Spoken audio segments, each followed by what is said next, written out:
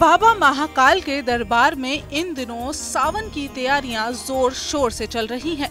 सावन में लाखों श्रद्धालुओं के मंदिर में आने की संभावना है, जिसको लेकर प्रशासन तैयारियों में जुटा हुआ है इसके साथ ही गुरुवार से गर्भगृह के रुद्र यंत्र, चांदी द्वार, नंदी द्वार की सफ़ाई का काम भी शुरू हो चुका है सफ़ाई का ये काम 2 जुलाई दोपहर एक बजे से शाम पाँच बजे तक किया जाता है, जिसकी वजह से गर्भगृह में श्रद्धालुओं का प्रवेश वर्जित किया गया है।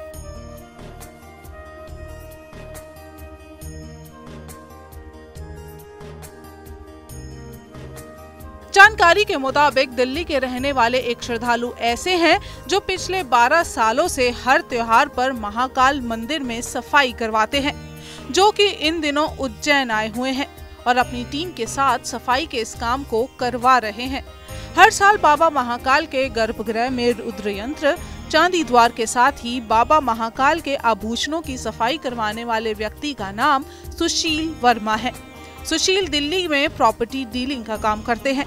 सुशील ने कहा कि मेरी ऐसी कोई मनोकामना नहीं है। मैं सिर्फ़ बाबा महाकाल की सेवा करना चाहता हूँ। बाबा महाकाल ने मुझ पर कृपा की है। जब तक हो सकेगा, मैं इस कार्य को इसी तरह करता रहूँगा।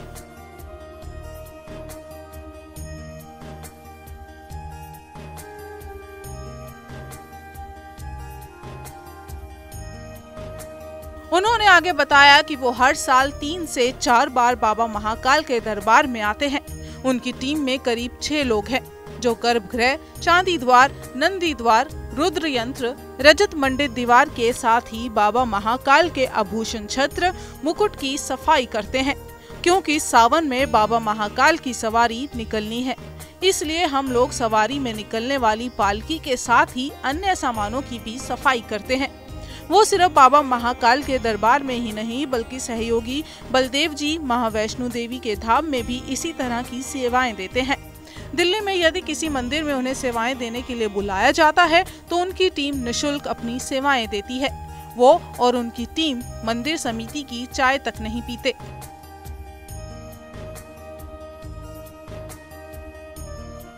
आपको बता दें, महाकालेश्वर मंदिर में हर काम के लिए टेंडर जारी किए जाते हैं। सुशील शर्मा मंदिर में गर्भगृह और आभूषणों की सफ़ाई के लिए अपनी कंपनी महाकाल रियल स्टेट के नाम पर टेंडर भरते हैं और इसमें हर काम को करने की राशि निशुल्क होती है। बताया जाता है कि वर्तमान में भी श्रद्धालु सुशील शर्मा ने तीन सालों के लिए सफ़ाई का ये टेंडर भरा है और इसी के माध्यम से वो मंदिर में निशुल्क सेवाएँ दे रहे हैं।